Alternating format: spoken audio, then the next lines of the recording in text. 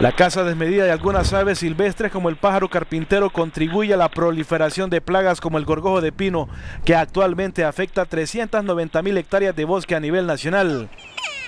Según expertos, el pájaro carpintero es un enemigo natural del gorgojo de pino y contribuye a mantener un equilibrio en el ecosistema. Ese es otro problema, que los pájaros carpinteros tienen sus, enemigos, ¿verdad? Como en la cadena trópica todo se da, que están reduciendo ese las poblaciones. En la actualidad el gobierno emprendió una guerra frontal contra el gorgojo y logró controlar la plaga en cerca de 300 mil hectáreas de bosque. Nosotros de las 390 mil hectáreas hemos logrado eh, controlar 291.273, que eso significa un 74%, y eso es muy bueno. A la par de este control de la plaga del gorgojo se trabaja en un plan para evitar los incendios forestales por los cortes de miles de árboles para frenar el mal. Eh, ahí eh, son, los incendios forestales son primero la etapa de prevención, que es toda la parte de capacitación y fortalecimiento a nivel de gobiernos locales para evitar los incendios.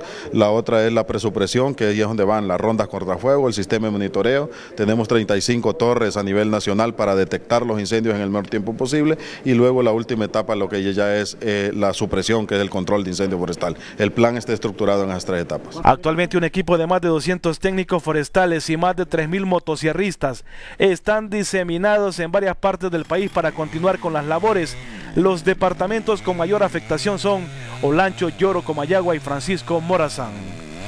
Mariolanda, Telenoticias.